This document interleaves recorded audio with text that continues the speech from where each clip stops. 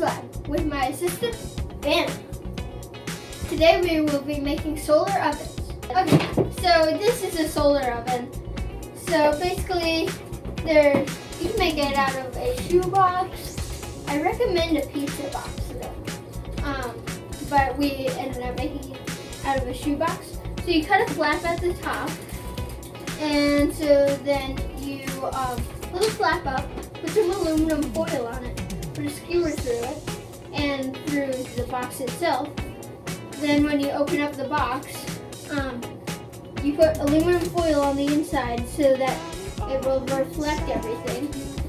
And then you also need saran wrap on the top so that the heat won't escape.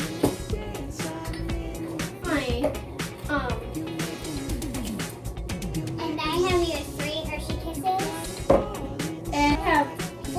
Hershey Kisses on a plate and a chocolate ball in the middle.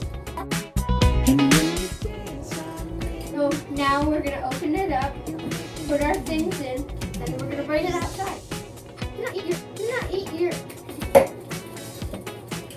We set up our solar ovens and we're gonna wait until the chocolate melts.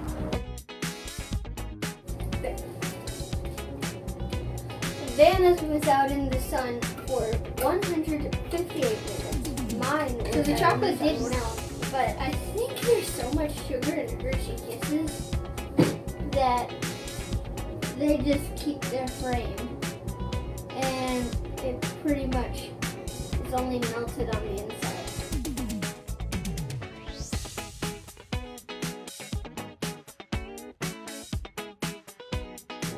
And then Vanna's here. Oh, hers fell over, but hers did melt pretty well. And it pretty much only melted on the inside.